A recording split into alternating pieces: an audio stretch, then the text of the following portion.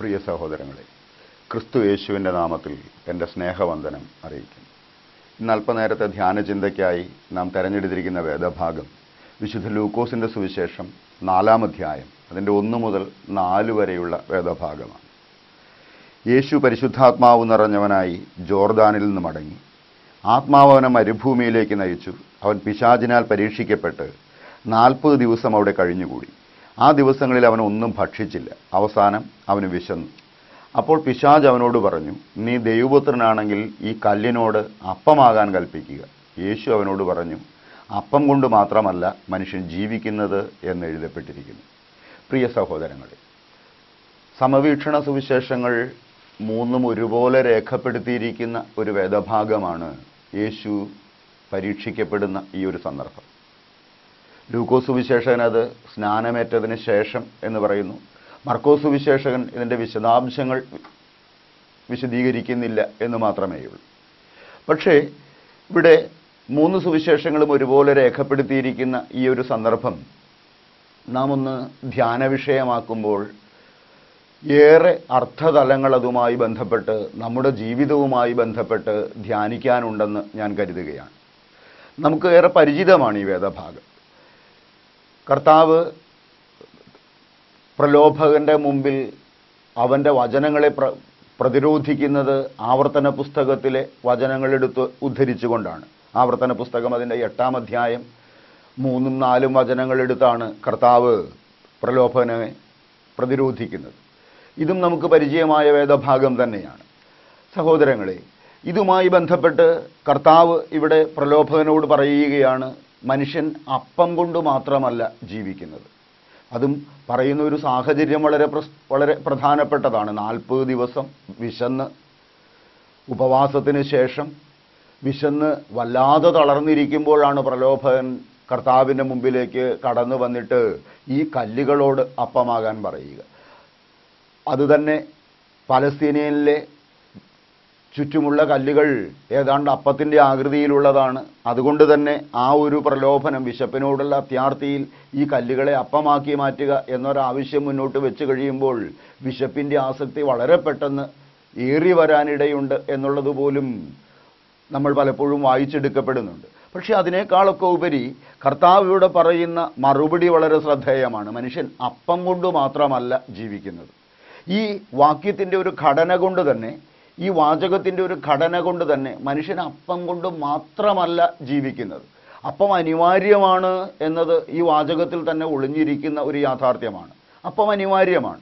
അപ്പമില്ലാതെ ഒരിക്കലും ജീവിക്കാനാവില്ല. അത് കർത്താവിന്റെ ആ സ്നേഹവും കരുതലുമൊക്കെ അപ്പവുമായി ബന്ധപ്പെട്ട് വേദപുസ്തകത്തിലൂടെ നാം തിരിച്ചറിയുന്നതാണ്. ഇസ്രായേലിന്റെ വാഗ്ദത്ത ദേശമായ കാനാനിലേക്കുള്ള യാത്രയിൽ അവർക്ക് വിശപ്പിന് ആഹാരമായി മന്ന പൊഴിച്ചു കൊടുത്തവനാണ് കർത്താവ്. മാത്രമല്ല പുതിയ നിയമത്തിലേക്ക് വരുമ്പോൾ നാം കാണുന്നു തനിക്ക് മുമ്പിലിരുന്ന് വചനം കേൾക്കുന്നവരുടെ വിശപ്പിനെ ഓർത്ത് മനസ്സലിഞ്ഞ് അവർക്ക് അപ്പം വർദ്ധിപ്പിച്ച് വിളമ്പിക്കൊടുത്തവനാണ് കർത്താവ്. ഒടുവിൽ തന്നെ തന്നെ അപ്പമാക്കി മാറ്റി നമുക്കായി നിതാന്തമായി നൽകിയവൻ കൂടിയാണ് കർത്താവ്. ഈ കർത്താവാണ് നമ്മളോട് പറയുക പ്രലോഭകന്റെ മുമ്പിൽ പറയുന്നത് മനുഷ്യൻ അപ്പം കൊണ്ട് മാത്രമല്ല ജീവിക്കുന്നത്.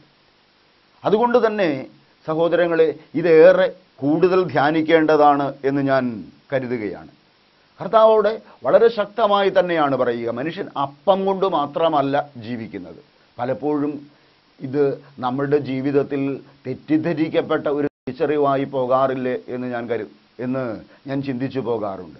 എന്താണ് അവിടെ സംഭവിക്കുന്ന പ്രധാനപ്പെട്ട ഒരു കാര്യം?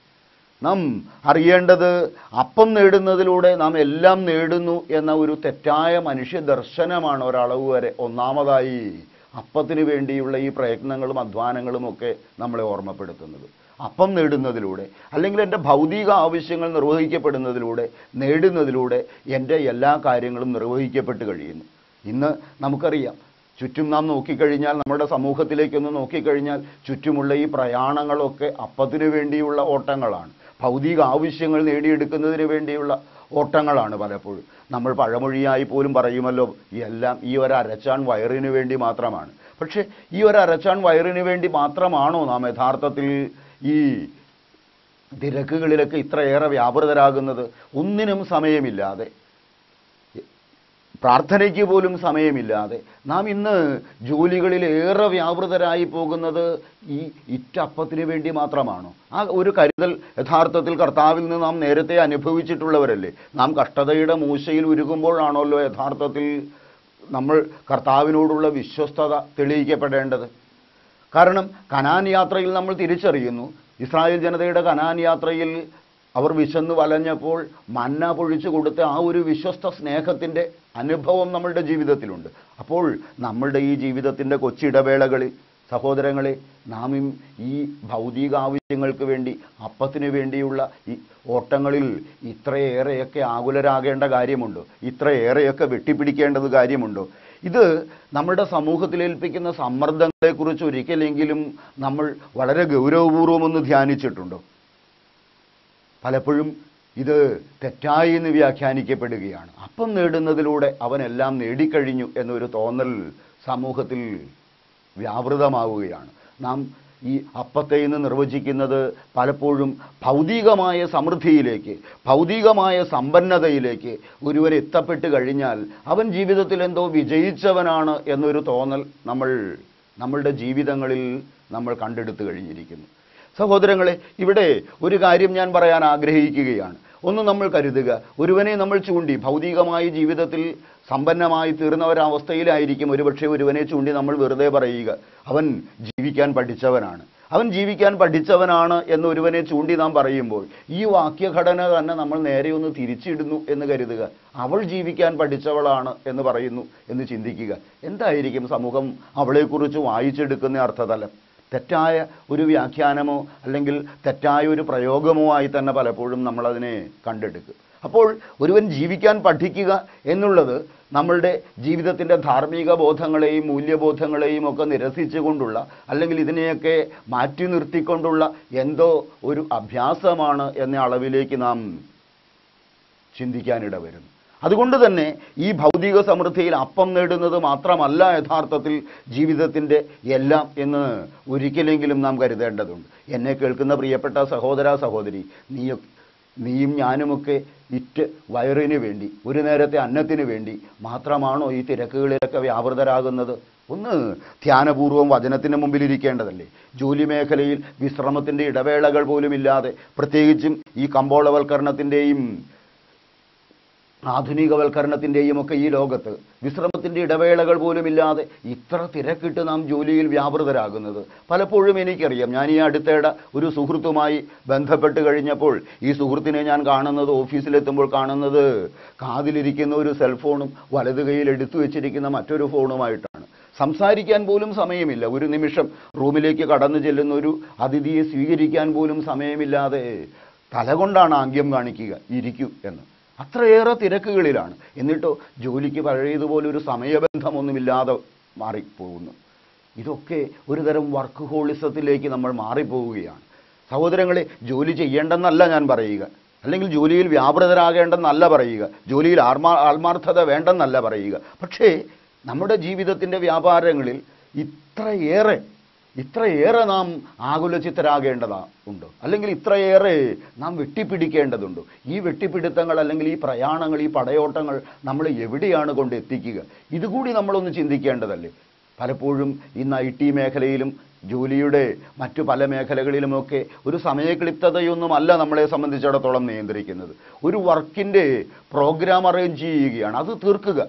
ഇതാണ്. അതുകൊണ്ട് രാത്രി നാം വീടിനെ ഓഫീസാക്കി മാറ്റുന്നു. ഓഫീസ് യുദ്ധക്കളമാക്കി മാറ്റുന്നു.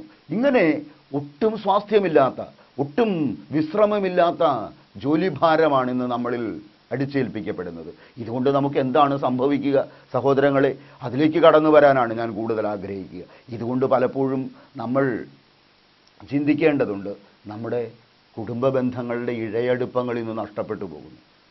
കുടുംബ ബന്ധങ്ങളിൽ ഊഷ്മളമായ സ്നേഹത്തിന്റെ സ്വാസ്ഥ്യ തീരങ്ങളൊക്കെ എവിടെയോ നമുക്ക് നഷ്ടപ്പെട്ടു പോകുന്നു. പ്രത്യേകിച്ചും ഞാനിത് പറയുന്നതിന് പ്രധാനമായൊരു എന്നെക്കൊണ്ടിങ്ങനെ ചിന്തിപ്പിച്ചത് പോലും സഹോദരങ്ങളെ ഈ കുറച്ചു ദിവസങ്ങൾക്ക് മുമ്പാണ് ധ്യാന കേന്ദ്രത്തിൽ യുവജനങ്ങളുടെ ഒരു ധ്യാനം നടക്കുവാനിടയായി.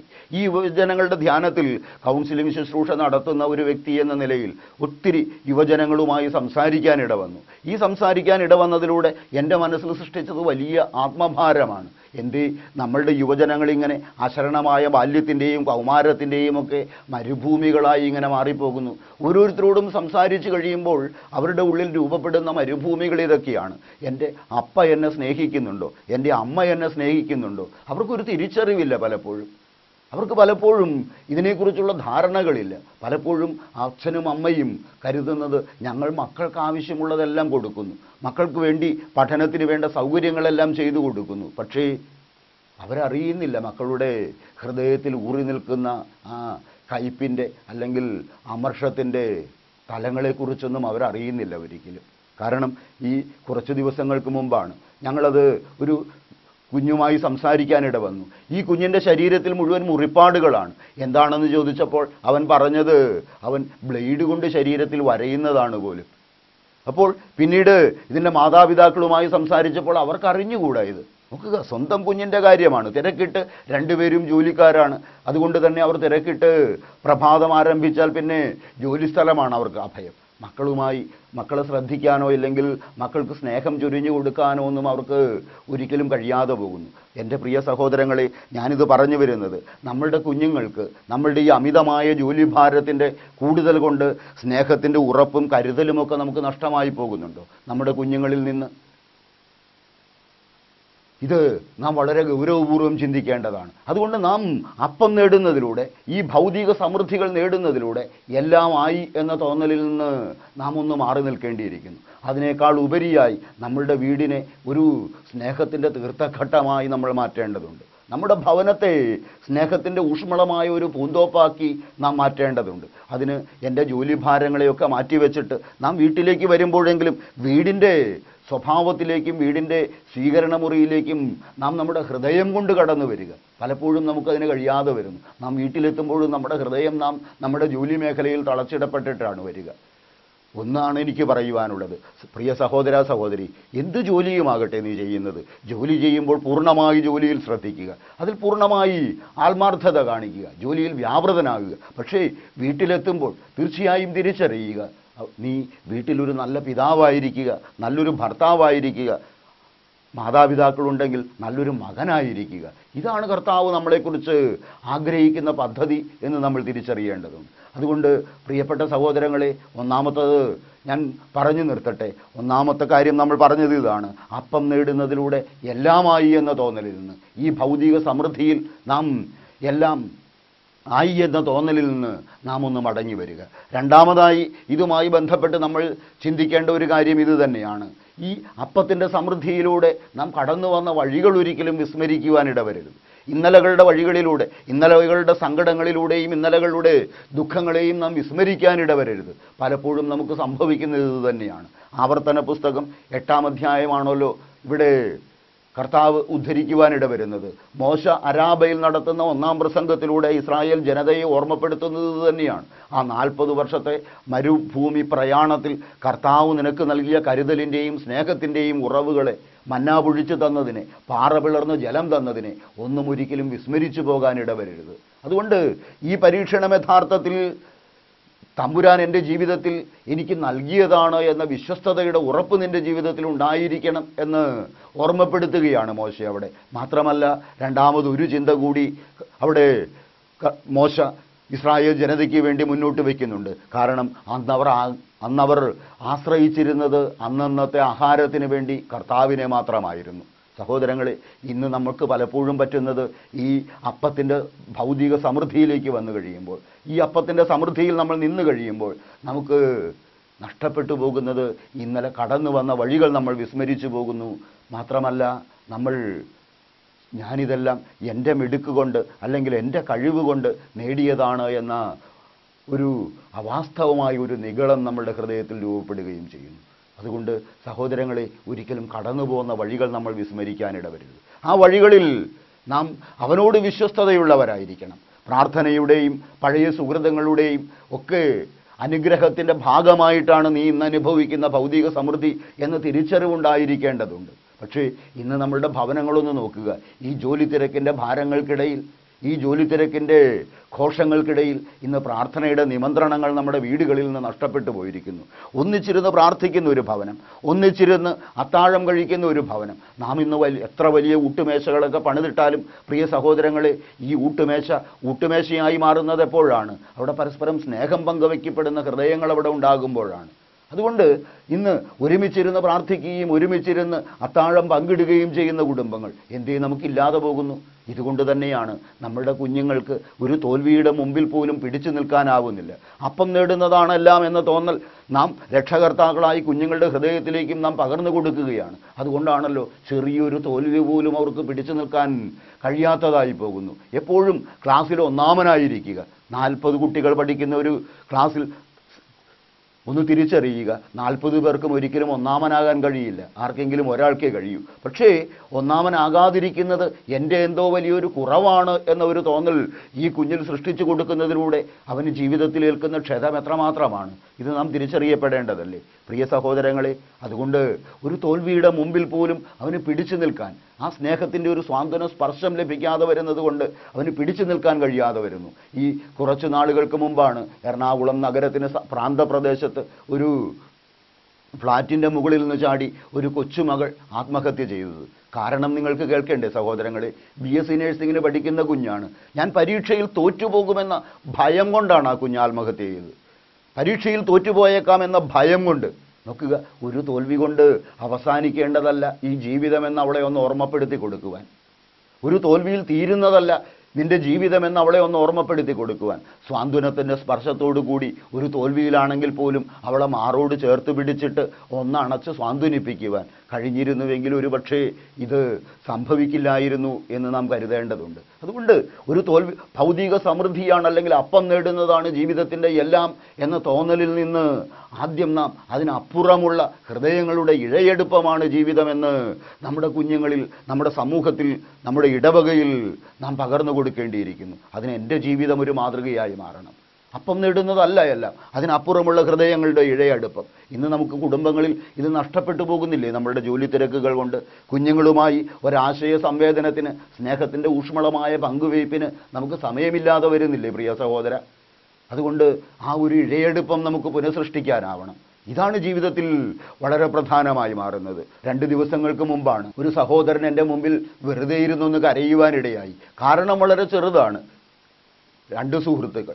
അവരൊരുമിച്ച് ചെറുപ്പം മുതൽ ഒന്നിച്ച് കൂലിവേല ചെയ്ത് വളർന്നവരാണ്. ഒന്നിച്ച് കൂലി കൂലിവേല ചെയ്ത്. റബ്ബർ ടാപ്പിംഗ് തൊഴിലാളികളായിരുന്നു രണ്ട് കൂട്ടരും. ഒന്നിച്ചാണ് റബ്ബർ ടാപ്പിങ്ങിനും മറ്റെല്ലാ സംഭവങ്ങൾക്കും പോയിക്കൊണ്ടിരുന്നത്. അതിൽ രണ്ട് കൂട്ടരും ഒരുമിച്ച് പ്രാർത്ഥിക്കും. പള്ളിക്കാര്യങ്ങളിൽ ഒരുമിച്ച് തന്നെ വ്യാപൃതരാകും. ഒരു കുടുംബം പോലെ കഴിഞ്ഞവർ എന്നാണ് പറയുക. പക്ഷേ ഇത് കഴിഞ്ഞ് അതിൽ ഒരാൾക്ക് രണ്ട് ആൺകുഞ്ഞുങ്ങളാണ് ഉണ്ടായിരുന്നത്. ആൺകുഞ്ഞുങ്ങൾ രണ്ടുപേരും വിദേശത്ത് പോയി ജോലിയായി വളരെ ഭൗതിക സമൃദ്ധിയിലേക്ക് എത്തി വളരെയേറെ സമൃദ്ധിയിലേക്ക് എത്തി ഇത് കഴിഞ്ഞ് ഒരു കുഞ്ഞിന്റെ കല്യാണം നടക്കുന്നു. ഈ കുഞ്ഞിന്റെ കല്യാണം നടന്നു കഴിഞ്ഞപ്പോൾ മറ്റവൻ എന്നോട് പറയുകയാണ് ആ കല്യാണത്തിന് ഒരു വാക്കെങ്കിലും എന്നോട് വീട്ടിൽ വന്ന് ക്ഷണിച്ചത് കൂടാതെ ആ പഴയ സൗഹൃദം വെച്ചുകൊണ്ട് എന്നോട് ഒരു വാക്കെങ്കിലും ഒന്ന് പറയും എന്ന് ഞാൻ ചിന്തിച്ചിരുന്നു. പറഞ്ഞില്ല കേട്ടോ. അതുകൊണ്ട് തന്നെ എനിക്ക് എന്തോ പങ്കെടുക്കാനൊരു വിഷമം. കേട്ടപ്പോൾ എന്റെയും കണ്ണു നനഞ്ഞു കേട്ടോ. ഔപചാരികമായി വീട്ടിൽ പോയി ക്ഷണിച്ചു എന്നുള്ളത് ശരി തന്നെ. പക്ഷേ എങ്കിലും ആ പഴയ ഊഷ്മള ബന്ധത്തിന്റെ ദൃഢത വെച്ചുകൊണ്ട് ഒരു വാക്ക് വെറുതെ ഒരു വാക്ക് ഒന്ന് പറഞ്ഞാൽ മതിയായിരുന്നു. നോക്കുക എത്രമേ എത്രമാത്രം അത് ആ ഹൃദയത്തെ മുറിപ്പെടുത്തി എത്രമാത്രം അത് ആ ഹൃദയത്തിൽ വേദന സൃഷ്ടിച്ചു. ഞാൻ പറഞ്ഞു സഹോദര ഈ തിരക്കിന്റെ കാലഘട്ടമല്ലേ മറന്നുപോയതാകാം. അതുകൊണ്ട് നാം അങ്ങോട്ട് പോകണം പോകാതിരിക്കരുത്. പോയി പങ്കെടുക്കുക തന്നെ ചെയ്തു. പക്ഷേ ഉള്ളിലുള്ള വേദന ഒന്ന് പറഞ്ഞു കഴിയുമ്പോൾ അനുഭവിക്കുന്ന ആശ്വാസമുണ്ടല്ലോ. ആ ആശ്വാസം ആ മുഖത്ത് നിന്ന് ഞാൻ തീർച്ചയായും വായിച്ചെടുക്കുകയും ചെയ്തു. എന്തേ? നമുക്ക് ഈ ഹൃദയത്തിന്റെ ഇഴയടുപ്പങ്ങൾ നഷ്ടമായി പോകുന്നു. ഇതാണ് ഞാൻ സഹോദരങ്ങളെ പറഞ്ഞു വെച്ചത്. നം അപ്പം നേടുന്നതിലൂടെ എല്ലാമായി എന്ന തോന്നലിലേക്ക് ഈ കാലം നമ്മളെ അടിച്ചേൽപ്പിച്ചിരിക്കുന്നു. നാം നമ്മളുടെ കുഞ്ഞുങ്ങൾക്ക് പോലും നമ്മൾ ലൂക്കോസിന്റെ സുവിശേഷത്തിൽ വായിച്ചെടുക്കുന്ന മുടിയനായ പുത്രന്റെ ആ ഉപമയുണ്ടല്ലോ. ആ ഉപമയിൽ മുടിയനായ പുത്രൻ എന്ന് നാം വിധി എഴുതുന്നവൻ. അവൻ എന്തുകൊണ്ടാണ് പന്നികൾക്ക് കൊടുക്കുന്ന ഭക്ഷണമാണ് അവന് വിളമ്പിയത് എന്ന് തിരിച്ചറിവുണ്ടാകുമ്പോൾ എന്റെ വീട്ടിൽ ഇതിനേക്കാൾ നല്ല ആഹാരമുണ്ടെന്ന ഓർമ്മ വരുന്നത് അവൻ വീട്ടിലേക്ക് മടങ്ങി ചെല്ലുന്നതും എന്തുകൊണ്ട് തന്നെ ആയിരിക്കണം? എന്നെ സ്നേഹിക്കുന്ന ഒരു പിതാവുണ്ടെന്ന ബോധ്യമാണ് അവനെ തിരികെ വീട്ടിലേക്ക് ആനയിച്ചത് എന്ന് തിരിച്ചറിയുക. പ്രിയ സഹോദരങ്ങളെ നമ്മളുടെ കുഞ്ഞുങ്ങളെന്തേ സ്നേഹം പങ്കുവെക്കപ്പെടുന്ന ഒരു പിതാവിന്റെയും മാതാവിന്റെയും സ്നേഹസ്പർശങ്ങൾക്കായി കാത്തു നിൽക്കാതെ എന്തേ ഇടയ്ക്ക് വെച്ച് നമ്മളിൽ നിന്ന് മാറിപ്പോകുന്നു. തീർച്ചയായും തിരിച്ചറിയണം. തീർച്ചയായും നമ്മൾ അതിനെക്കുറിച്ച് ആകുലചിത്തരാകണമെന്ന് തന്നെ ഞാൻ പറയും. ആയിരത്തി തൊള്ളായിരത്തി എൺപത്തി ഒൻപതിലാണല്ലോ അർമീനിയയിൽ വളരെയേറെ പേരുടെ ഏതാണ്ട് മുപ്പതിനായിരത്തോളം പേരുടെ ജീവൻ കവർന്നെടുത്ത വലിയൊരു ഭൂകമ്പമുണ്ടായത് നാം വായിക്കുന്നുണ്ട്. മുപ്പതിനായിരത്തോളം പേരാണ് ആ ഭൂകമ്പത്തിൽ മരിച്ചത്. ലോകം മുഴുവൻ ഭൂകമ്പത്ത തകർന്നു കിടക്കുമ്പോൾ അതിൽ നിന്ന് രക്ഷപ്പെട്ട ഒരു പിതാവ് തന്റെ മകൻ പഠിക്കുന്ന സ്കൂളിലേക്ക് ഓടിച്ചെല്ലുകയാണ്. ഓടിച്ചെല്ലുമ്പോൾ ആ സ്കൂൾ മുഴുവൻ തകർന്നു കിടക്കുന്നു. മകന്റെ സ്കൂൾ ഇന്ന സ്ഥലത്താണ് ക്ലാസ് മുറി ഇന്ന സ്ഥലത്താണ് എന്നറിയാമായിരുന്നത് കൊണ്ട് ഈ പിതാവ് ഓടിച്ചെന്ന് ഉടനെ രക്ഷാപ്രവർത്തനങ്ങൾ ആരംഭിക്കുന്നു. ചുറ്റും നിന്നവരൊക്കെ പറഞ്ഞു ഓ ഭൂകമ്പത്തിൽ മുഴുവൻ മണ്ണടിഞ്ഞു പോയി. ഇനി നീ രക്ഷാപ്രവർത്തനങ്ങൾ നടത്തിയിട്ട് എന്ത്? ആദ്യത്തെ ദിവസത്തെ പ്രയത്നം കൊണ്ടൊന്നും ക്ലാസ് മുറിയിലേക്ക് എത്തപ്പെടാനേ കഴിഞ്ഞില്ല. രണ്ടാമത്തെ ദിവസത്തെ പ്രയത്നം കൊണ്ടും പൂർണമായി എത്തിയില്ല. നാം വായിച്ചെടുക്കുന്നത് ഇങ്ങനെയാണ്. മുപ്പത്തിയാറ് മണിക്കൂറിന് ശേഷമാണ് ഈ കുഞ്ഞിന്റെ ക്ലാസ് മുറിയിലേക്ക് കുഴിച്ച് കുഴിച്ച് പിതാവിന് കടന്നു ചെല്ലാൻ കഴിഞ്ഞത്. അത്ഭുതമെന്ന് പറയട്ടെ. ചരിത്രം രേഖപ്പെടുത്തിയിട്ടുള്ളൊരു വസ്തുതയാണല്ലോ. അവിടെ ഈ ഭൂകമ്പത്തിൽ തകർന്നു വീണ ക്ലാസ് മുറികൾക്കിടയിൽ ത്രികോണാകൃതിയിൽ രൂപപ്പെട്ട് രൂപപ്പെട്ട് അതിന്റെ മുകളിലേക്ക് ഒരു കോൺക്രീറ്റ് സ്ലാബ് വന്ന് വീണ് അവിടെ രൂപപ്പെട്ട ഒരു അള്ളയുടെ ഉള്ളിൽ ഈ കുഞ്ഞുങ്ങൾ സുരക്ഷിതനായിരിക്കുകയാണ്. ഈ കുഞ്ഞു മാത്രമല്ല വേറെ പതിമൂന്ന് പേർ കൂടി. പിതാവ് ഇവരെ പതിമൂന്ന് പേരെയും രക്ഷപ്പെടുത്തുന്നു. ഇത് ലോകത്തെ തന്നെ പിന്നീട് അത്ഭുതപ്പെടുത്തിയ ഒരു സംഭവമാണ്. ഉടനെ പിതാവ് കുഞ്ഞിനെ വിളിക്കുന്നു. അർമാഡ്. കുഞ്ഞിന്റെ പേരതായിരുന്നു. ഈ കുഞ്ഞും പപ്പയെ കെട്ടിപ്പിടിച്ച് കരയുന്ന ഒരു ദൃശ്യം. സഹോദരങ്ങളെ ഇത് കഴിഞ്ഞ് ലോകത്ത് പത്രപ്രവർത്തകർ ഉൾപ്പെടെ പലരും ഈ കുഞ്ഞിനോട് ചോദിച്ചു. ഈ ഇരുളിൽ ഭക്ഷണമില്ലാതെ വെള്ളമില്ലാതെ ഭയാതുരരായി എങ്ങനെയാണ് മുപ്പത്തിയാറ് മണിക്കൂർ ഇതിന്റെ ഉള്ളിൽ നിങ്ങൾക്ക് സുരക്ഷിതരായി കഴിയാൻ ഭയപ്പാടില്ലാതെ കഴിയാൻ നിങ്ങൾക്ക് എങ്ങനെയാണ് കഴിഞ്ഞത്? അർമാഡ് ഉടനെ പറഞ്ഞ മറുപടി ഇതായിരുന്നു. അർമാഡ് തന്റെ പത്ര നേരെ ചോദിച്ച പത്രപ്രവർത്തകരുടെ നേരെ കൗതൂഹലത്തോടുകൂടി ചിരിച്ചുകൊണ്ട് അവൻ പറയുന്നു ഞാൻ എന്റെ കൂട്ടുകാരോട് പറഞ്ഞു എന്റെ പിതാവ് എന്റെ ഡാഡി ജീവിച്ചിരിക്കുന്നുണ്ടെങ്കിൽ തീർച്ചയായും എന്നെ അന്വേഷിച്ച് വരും. എനിക്ക് ഉറപ്പുണ്ട്. അതുകൊണ്ട് എന്റെ ഡാഡി വരുന്നുവെങ്കിൽ തീർച്ചയായും അപ്പോൾ നിങ്ങളെയും എനിക്ക് രക്ഷിക്കാം. എല്ലാവരും ധൈര്യമായിരിക്കുവിൻ. നോക്കുക ഒരു ഭൂകമ്പത്തിന്റെ കെടുതിയിൽ ഒറ്റപ്പെട്ട് ഭയാതുരനായി കഴിയുമ്പോൾ പോലും ഈ കുഞ്ഞിന്റെ ഉള്ളിന്റെ ഉള്ളിലുള്ള ഒരു ഉറപ്പ് എന്റെ ഡാഡി ജീവിച്ചിരിക്കുന്നുണ്ടെങ്കിൽ തീർച്ചയായും എന്നെ അന്വേഷിച്ചു വരും എന്ന ഒരു ഉറപ്പ് നമ്മുടെ കുഞ്ഞുങ്ങൾക്ക് ഈ സ്വാന്തനത്തിന്റെ ഒരു താങ്ങും തണലുമായി മാറാൻ നമുക്ക് കഴിയുന്നുണ്ടോ? ഈ ഒരു ഉറപ്പ് വളരെ പ്രധാനപ്പെട്ടതല്ലേ? സഹോദരങ്ങളെ നമ്മൾ ധ്യാനിക്കേണ്ട വളരെ ഗൗരവമേറിയ ഒരു ചിന്ത തന്നെയാണിത്. ഇന്ന് നമുക്കറിയാം. ഏതാണ്ട് എൺപത്തി ഒമ്പത് ശതമാനം കുഞ്ഞുങ്ങളും അധിക മാനസിക സമ്മർദ്ദം അനുഭവിക്കുന്നു എന്നാണ് പഠനങ്ങൾ പുറത്തു കൊണ്ടുവരുന്നത്. അതുകൊണ്ട് തന്നെ നമ്മളുടെ കുഞ്ഞുങ്ങളുമായി നമുക്ക് സമൂഹവുമായി മറ്റുള്ളവരുമായി ഇങ്ങനെ ഒരു ഹൃദയത്തിന്റെ ഇഴയടുപ്പം സൃഷ്ടിക്കാൻ കഴിയട്ടെ. അതിനായി നമുക്ക് പ്രാർത്ഥിക്കാം. അതുകൊണ്ട് തന്നെ പുതിയ നിയമത്തിന്റെ ശുശ്രൂഷ എന്ന് പറയുന്നത് പ്രിയ സഹോദരങ്ങളെ ആത്മാവിന്റെ ശുശ്രൂഷയാണെന്ന് നമ്മൾ തിരിച്ചറിയണം. അതുകൊണ്ട് തന്നെ നാം ഞാൻ ആവർത്തിച്ച് പറയട്ടെ മനുഷ്യൻ അപ്പം കൊണ്ട് മാത്രമല്ല ജീവിക്കുക. ദൈവത്തിന്റെ വായിൽ നിന്ന് പുറപ്പെടുന്ന വചനം കൊണ്ട് കൂടിയാണ് ജീവിക്കുക. വചനം ആത്മാവും ജീവനുമാണെന്ന് യോഹനാൻ സുവിശേഷകൻ നമ്മളെ ഓർമ്മപ്പെടുന്നു. മാത്രമല്ല മാംസം ധരിച്ച വചനമാണ് നമ്മുടെ മുമ്പിൽ നിൽക്കുന്ന ക്രിസ്തു. ആ ക്രിസ്തുവിനോട് ചേർന്നാകട്ടെ നിന്റെ അധ്വാനങ്ങളും വിശ്രമങ്ങളും. ഭൗതിക സമൃദ്ധിയിലൂടെ വെട്ടിപ്പിടിക്കുന്നതെല്ലാം ക്ഷണികമാണെന്ന ബോധത്തോടുകൂടി അതിലല്ല ശാശ്വതമായി എന്റെ ജീവിതത്തെ ഞാൻ തളച്ചിടേണ്ടതെന്ന ബോധ്യത്തോടുകൂടി കൂടി മാംസം ധരിച്ച വചനമായ ക്രിസ്തുവിലാകട്ടെ നിന്റെ ആശ്രയം. അതിനായി നമുക്ക് പ്രാർത്ഥിക്കാം. നമുക്ക് നമ്മുടെ തലകളെ